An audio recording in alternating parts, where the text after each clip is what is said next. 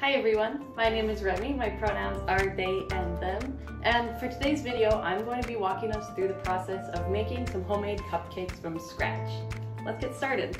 The recipe we're going to be using today is a pretty simple recipe. Uh, it's one that's been in my family for quite a while. So all you're going to need is some basic ingredients from the grocery store if you already don't have them.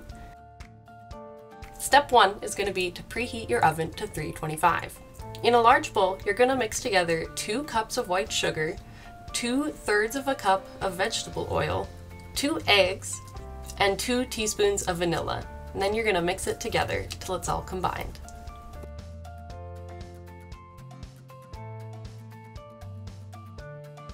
In another bowl, this can be a smaller bowl, you're going to mix together one and a half cups of water with two thirds of a cup of cocoa. You can mix this one together, but it doesn't have to be perfectly mixed up as we're going to add it to the bigger bowl later. In your third and final bowl, you're going to mix together the rest of your dry ingredients, including two and two thirds of a cup of flour, two teaspoons of baking powder, one teaspoon of salt, and two teaspoons of baking soda.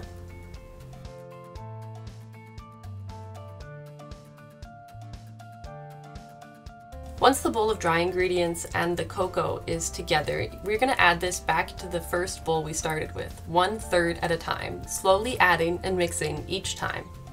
Creating this recipe always brings back memories to me, as when I was a kid growing up, this would always be the recipe my mom would use to make our birthday cakes. So when I create it now as an adult, I get to feel this comfort again of the food my mom used to make. And I hope you guys will like this recipe as much as I do. Once your batter is complete, you're going to want to set up your cupcake pans, or alternatively, you can do this in a cake format. What I do to dish it out is I take a tablespoon measuring cup and I do approximately a scoop of each into each cup. Now, this part of the process can get a little messy, especially if you're me, but it's important to know that it's okay to get a little messy and you're gonna have to clean up as you go. It's just part of the creative process and it definitely makes the food feel more like it belongs to you especially once it's out of the oven. For today's video, I decided to go with cupcakes, as I feel that you can get a lot more creative with cupcakes, as instead of having one large canvas to work with, you get a few dozen of these little canvases to let you create on.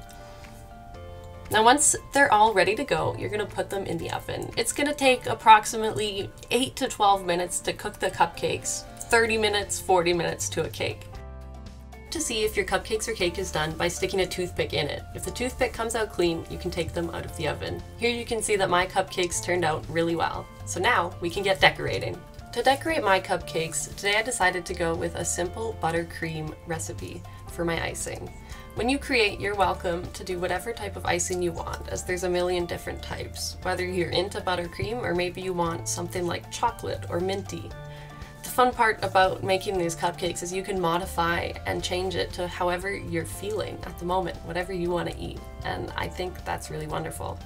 I decided to dye my icing green as on the day I'm filming this, it's actually my dad's birthday, and green is one of the colors I associate him with.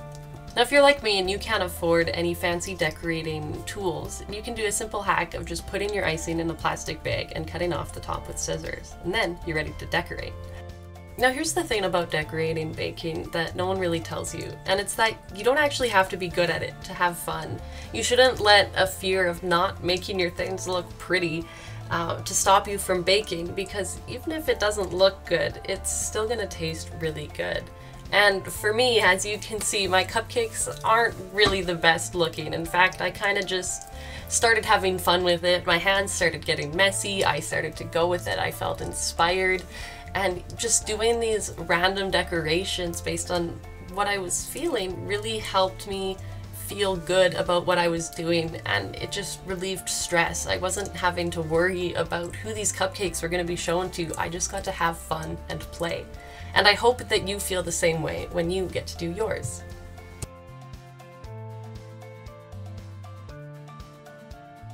And finally, here's a quick look of the finished product. Again, they don't look perfect, they're kind of messy, but at least we had some fun while doing it, and it's gonna taste great. Thank you so much for watching and joining me on our baking adventure today.